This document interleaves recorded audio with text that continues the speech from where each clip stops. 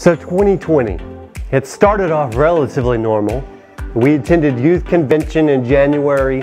We set a large speed light goal, which with your help and lots of running, we met by the way, $13,266.58. We went bowling on holidays. We had great services full of gospel teaching, great worship, and fun games.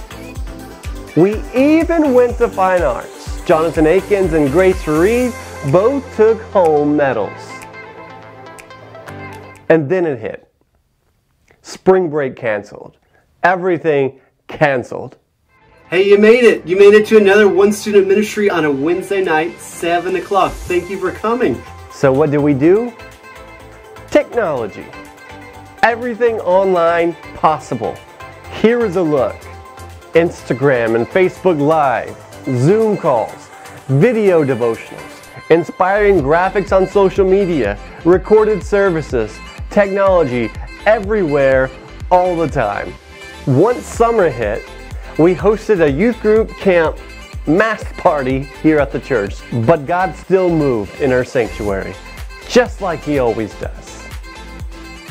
In July, we finally met with students in person outside.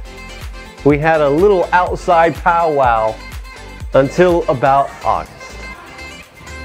And then just like that, regular services again. Well, except for the fact that everyone is wearing masks, that got a little stuffy.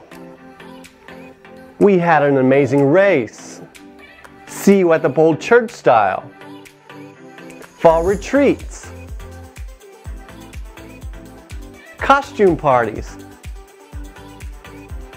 And Christmas parties.